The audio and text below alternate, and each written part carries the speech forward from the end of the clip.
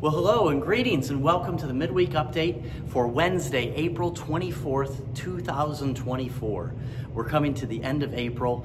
Uh, spring is in the air and uh, the trees are blooming and what a beautiful time. And I come to you from the Galleria as we are coming up on our third week in Faith in Action. A lot to talk to you about in so many tables, but the first thing I want to do is invite a guest I have over here who is helping out and putting faith in action as we speak. Mrs. Jerry Penn is here cleaning up the pews today and putting everything together so it's all nice and neat and organized for you on Sunday. I thank you for volunteering and putting your faith in action. You're welcome. It's my pleasure. Thanks, Jerry. Well, I thank Jerry and Caroline and Dawn and Jean and so many other volunteers over the years that have worked in the sanctuary and, and helped out to be a part of uh, the care ministry team and just a part of helping get the church prepared for the week ahead.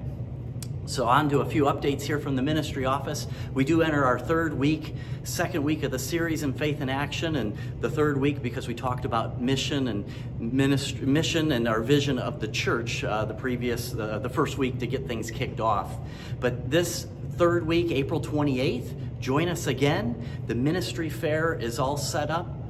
Uh, we are faith in action as we speak, and I just want to give you a little a little look at all of the tables set up. If you haven't been in here, we have Wesley's Kids, we have the Golf League, we have a plethora of opportunities. You can learn more about the sound booth, faith discipleship classes, the Backwoods crew, reaching new people, working in the library, ushering, so many different volunteer opportunities. I have missions to my left. I have kids in faith over uh, to my right. So, so many different opportunities that you can check out anytime during the week or here on Sunday.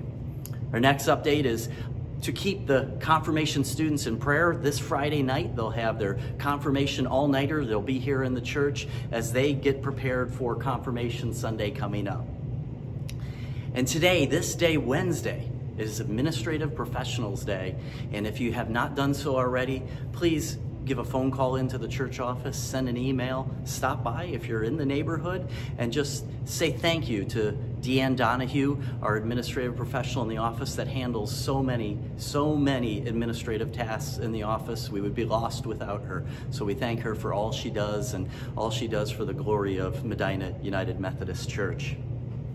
Two more updates for you. The National Day of Prayer will be on Thursday, May 2nd, so a week from tomorrow, the National Day of Prayer. There will be a 915 prayer service at St. Francis Church. There will be other events throughout the community, so we encourage you to check that out. And most importantly, most importantly, we encourage you to be in prayer for your brothers and sisters in Christ, for our church, for our community, for our country, for our world, especially so on that National Day of Prayer. Our last update, a reminder that on Sunday, May 5th, we'll have one combined service. That's one combined service at 9.30 a.m. That'll be Confirmation Sunday. There'll be a reception to follow, along with a update and just a general uh, update on all the happenings of General Conference as that continues on in its second day in Charlotte, North Carolina. And that will go through uh, into May, the first Friday in May. And we just keep all that are a part of that, all the delegates, people traveling from across the world to be there. Uh, we keep them in prayer during this time as they have so much work ahead of them, but they do all this work with one purpose and one goal in mind, and that's glorifying God's church here on earth. And friends, that concludes our midweek update here, and uh, encourage you to get out. You can come in anytime during the week. We encourage you to be here on Sunday for our Faith in Action, and you can get an opportunity to peruse the tables and learn more about so many opportunities you can be a part of. That's all I have for you. Take care, blessings on the rest of your day, and we'll see you on Sunday.